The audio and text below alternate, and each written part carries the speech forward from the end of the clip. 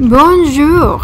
Today we're visiting the lovely Museum Marmottan, located on the 16th district at number 2 Rue Louis Boilly. You can take the subway, uh, line 9, to La Muette station and walk 8 minutes through the parks. It's open Tuesdays to Sundays, 10 a.m. to 6 p.m. Thursdays, they have the late night till 9 p.m. Tickets are 14 euros 50 cents adults and 10 euros for under 18 or students under 25. Children under 7 or disabled people, it's free. And you know what? It's also free. Guess what? Our channel. You can subscribe and we send you love from France with love. And let's share the love with family and friends so we can keep growing the community and showing you all the beautiful places from France. Thanks to all our subscribers and also to the new ones and that really keeps motivating us. So let's keep going. I'm going to leave all the information on the description box. So in 1932 paul marmottan dedicated his townhouse and his personal collection to the Academy of Fine Arts. This museum is a temple of Impressionism. It opened to the public in 1934, and in just over 80 years, the museum collection has doubled in size. And it has become home to the world's leading collection of works by Claude Monet. Here we can see a, a painting of Michel Monet as a baby. He was the second son of Claude Monet and Camille Doncieux, his first wife. Michel was his last direct descendant. He had no offspring of his own, and he made a donation uh, for the Musée Marmottan to be the universal successor. The museum has the world's leading collection of works by his father. Here we can appreciate his oldest son, Jean Monet. There is something curious about him because he married his stepsister, Blanche Hoschedé, the daughter of his father's second wife. He passed away at the age of 46 and he's buried in Giverny, the same cemetery where his father and his brother are buried. He was living in the city of Rouen. We have a video of the city and I invite you to see it. And he was working there as a chemist for his uncle. Well, at the Museum Marmottan, uh, you're going to see a significant in terms of its size, but also because of its range and variety. From the first landscapes painted on the banks of uh, the river La Seine to the landscapes that he made when he traveled around Europe, all the way to the water lilies that are at the end of his life. So he dedicated uh, his time in Giverny to paint the water lilies. This collection it is of interest also because of its particular emotional quality in that it consists of intimate works family portraits, and impressionist from Claude Monet personal collection. We have to remember that uh, his son was the one who, who gave the museum all the paintings that his father had given him, and all of which were displayed on the walls of his house at Giverny. If you love Monet, I encourage you to see my video on Monet Giverny home. You will see the home inside, uh, paintings from his friends that were also very famous artists, and the beautiful gardens. And we have to give thanks to Michel Monet because he perpetuated the memory of his father at his nearby property in Sorel-Moussel where he surrounded himself with a number of his works. Later, he donated everything that he had from his father to the Museum Marmottan, allowing us to enjoy Claude Monet paintings from his very beginning so we can see the transition and understand better the evolution of Monet painting. In 1840, Oscar Claude Monet was born on the 14th of November in Paris. In 1845, Monet's family moved from Paris to the Havre, that's located in Normandy. And Le Havre is a, it's in the coast, uh, it's on the right bank of uh, the river La Seine. That explains why Monet has many paintings of La Seine and he also had like an infatuation with the lighting at each hour of the day, how it changed the colors and the perception. In 1858, Monet has his first success by doing cartoons and he meets Eugène Boudin. He was one of the first French painters of the 19th century to paint landscapes. He came from the city of Honfleur and uh, he started uh, doing his work outside the studio. A great painter of seascapes, he's considered one of the precursors of Impressionism. In 1859, Monet moves to Paris, and in 1860, he meets Camille Pissarro at the Swiss Academy of Paris. In 1861, Monet was sent to do his military service in Algeria. And in 1862, he returned to his family in the Havre, Normandy. The same year, he moves, he goes back to Paris, where he starts frequenting the workshop of Charles Gleyre, and he starts a friendship with Bazille, Renoir, and Alfred Sisley. In 1864, he stayed in Normandy uh, uh, at the cities of uh, Rouen, Honfleur, with Bazille, Boudin, and Jongkind. In 1865, Monet first participation at the Salon, where he exhibits two landscapes. In 1866, he is going to exhibit The Lady in a Green Dress and that's a painting of his late wife Camille, his first wife.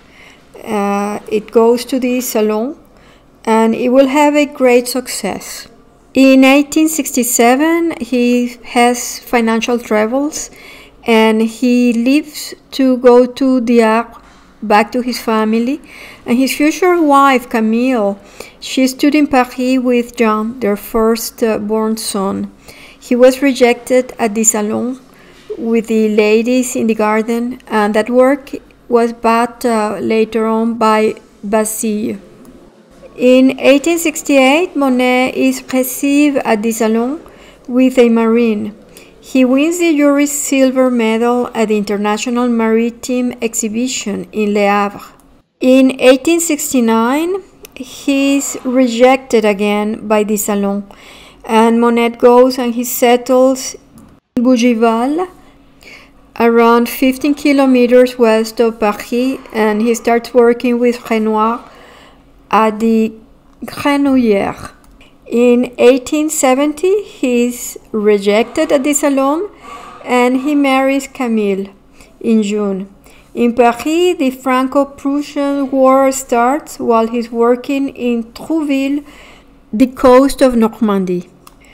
And then he takes his family to safety in England where he meets the art dealer, Paul Durand-Ruel. In 1871, Monet travels to Holland. In 1872, he goes back to Rouen at Normandy and Le Havre, where he paints Impression Rising Sun. This is a painting that gave the name to the Impressionist movement.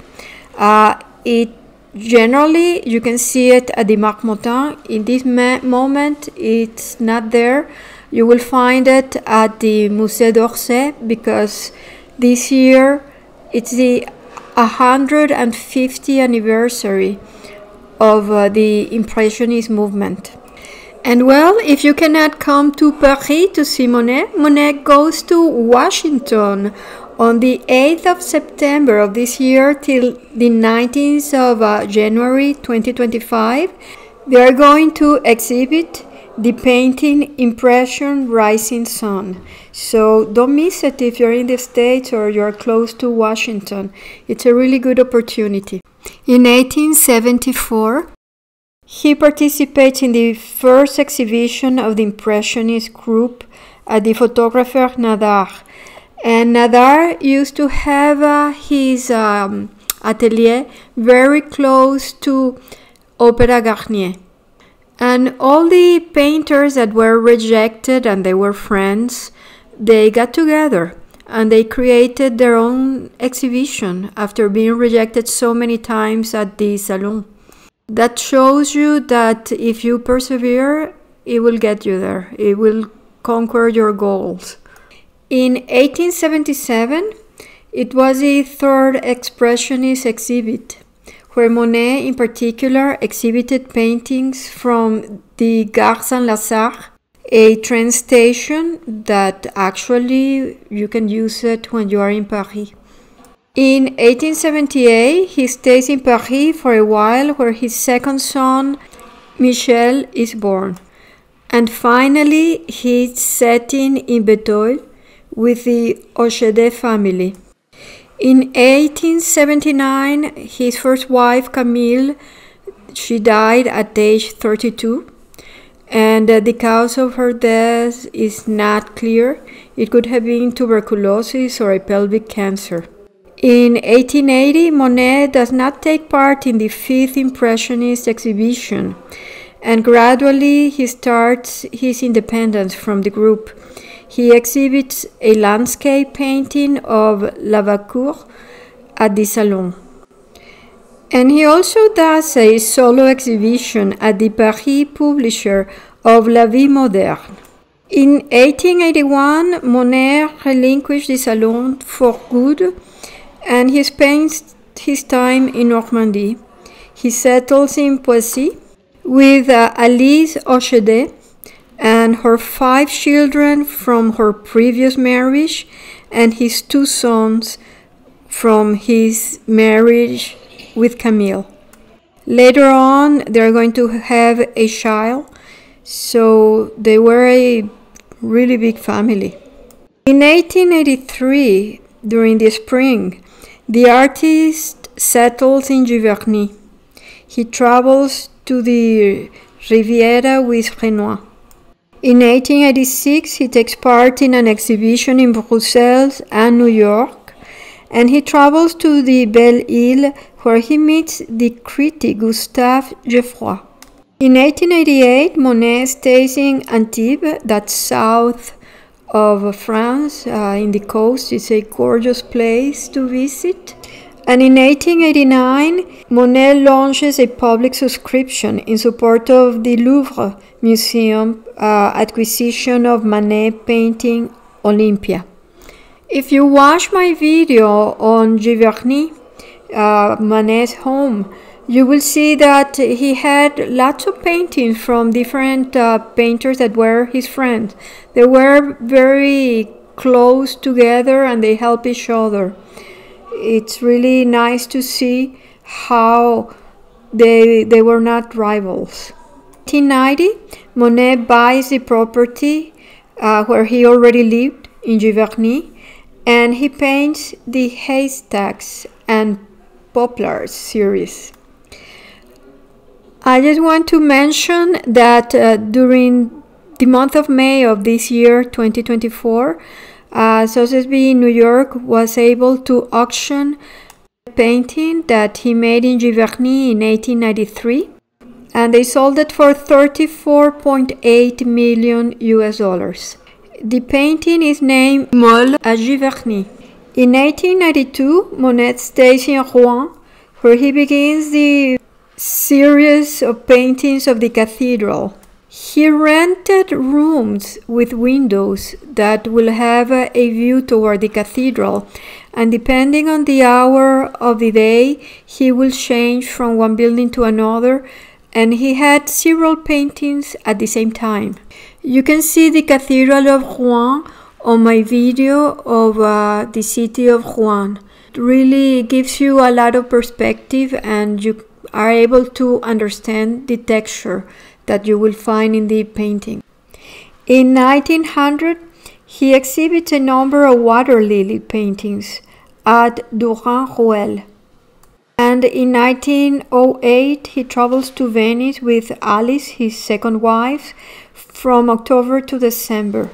In 1911, his wife Alice passed on May 19th. In 1914, Monet eldest son Jean, the son that he had with Camille, he dies at uh, age 46.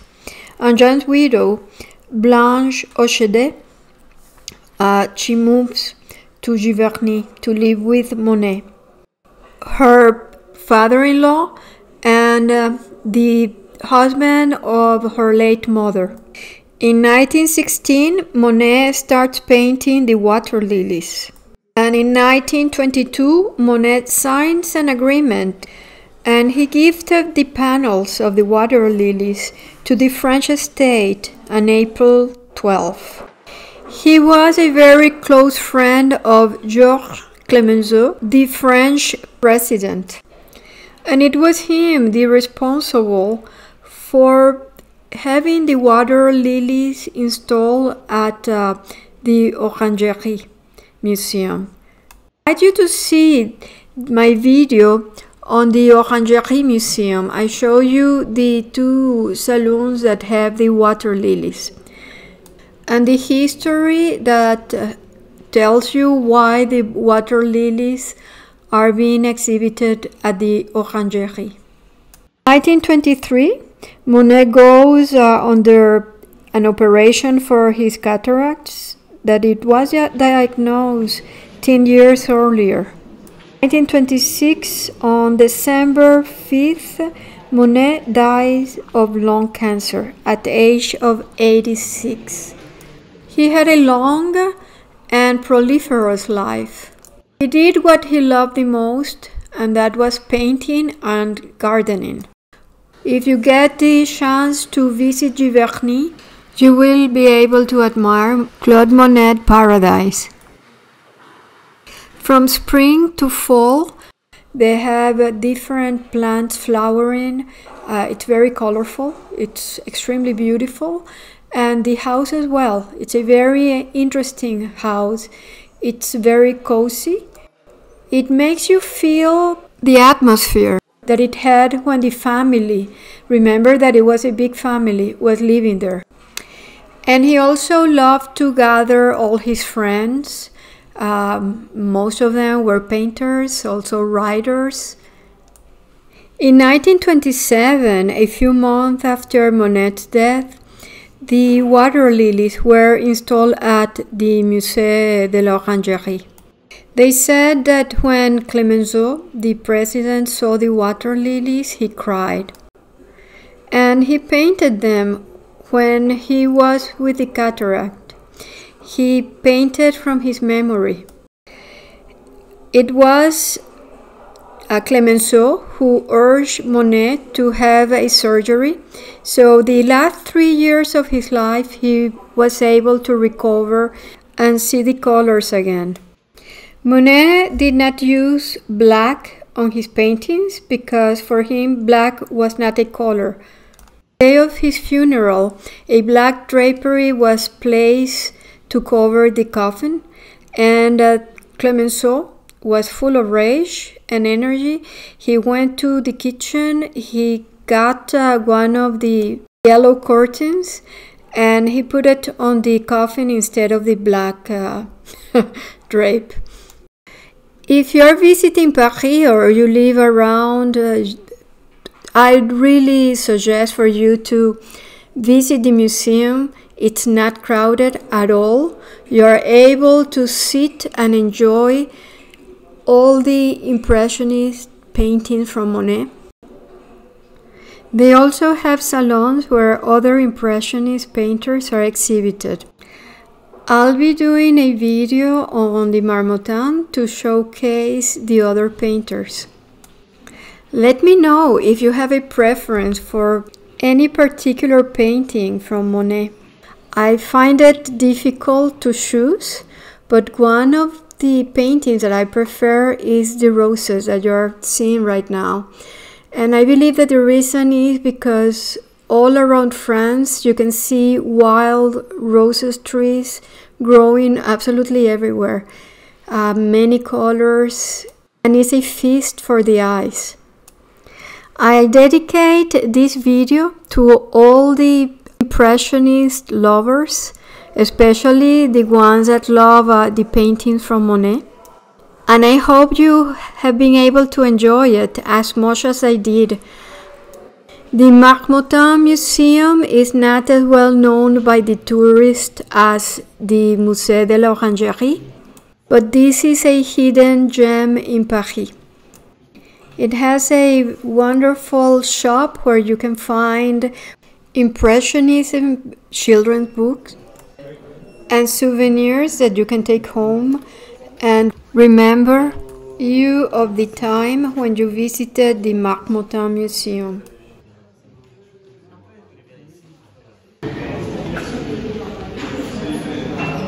Here we are at the lockers to get my bag and it's totally free.